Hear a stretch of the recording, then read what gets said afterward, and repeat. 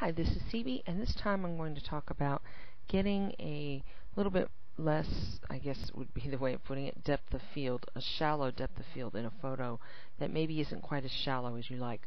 I have this layout that I created recently for my Sparkle Princess embellishment set, and this photo in particular for it just didn't quite have as much depth of field as I wanted, and I'll show you the picture here.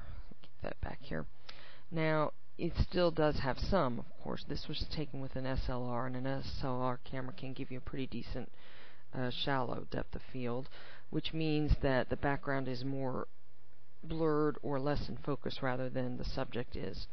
But it wasn't quite enough. I mean, I added a little bit more to it, and it's subtle, but sometimes subtlety is key, and that's what I want here. So, first thing I guess to do is sort of look at your picture and analyze what you've got going on here. My subject here is going to be the one that's in focus and she's over here in this corner. So this I can add a little bit more blur to but this is closer to the camera and I'm going to need this a little more in focus. So what I'm looking to do is create more blur up in here and keep it a little bit more in focus here and certainly keep her in focus.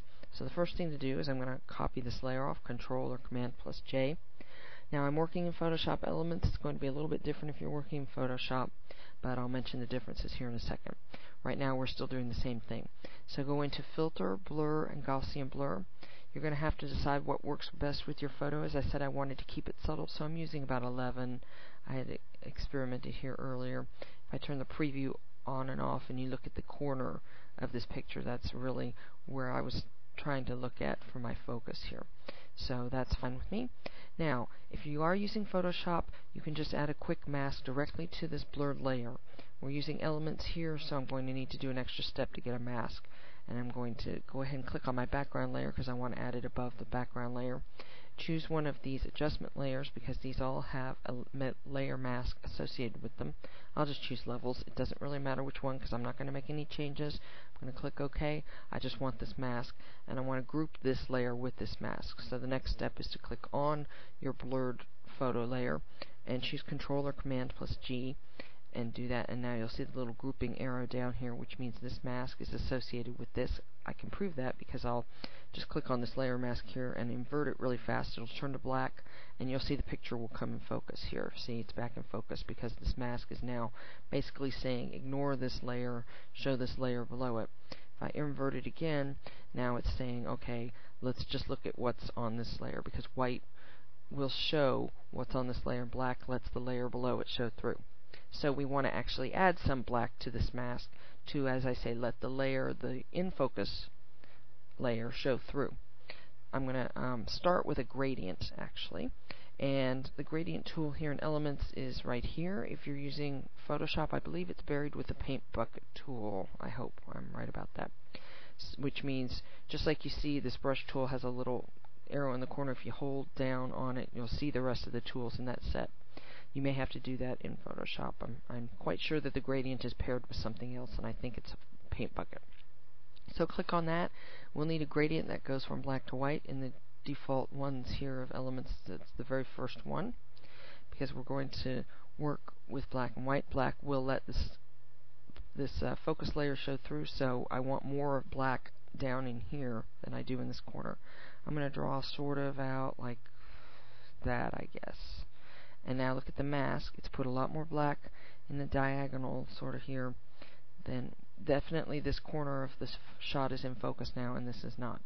So the last step is I'm just going to put some more black down on this layer to get my daughter more in focus. And I'm going to do that by choosing a paintbrush here. I've got a soft edge brush, which means you're looking for some blur around the edges. This is, again, I think a default set.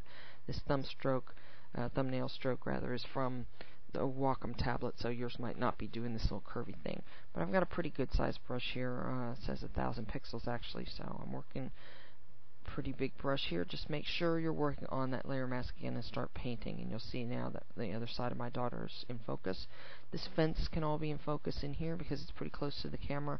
And down in here, I'd say is pretty good in terms of being in focus. I can be a little bit general and because I'm using the blurred edge it will stay kind of subtle the transition between the two now you look at that and it doesn't look tremendously different from what we had which as I said subtlety is key I'm going to go for subtle But if I sort of give you the before look here and you pay attention to this corner especially, and in here you'll notice that it does blur up a bit more. There's after again. Just look at that top corner. Again, this is really subtle. You might want to go a little bit stronger than that. Did I even get all of my daughter's face here? And yeah, I did. Just good idea to check that. But I didn't want to go, you know, whole hog and make it super blurry. It's just enough to make it look a little bit better and, you know, a little bit more what I was going for, just to get a, some more emphasis on her and less on this background, hopefully. I'm CB, and thanks for watching.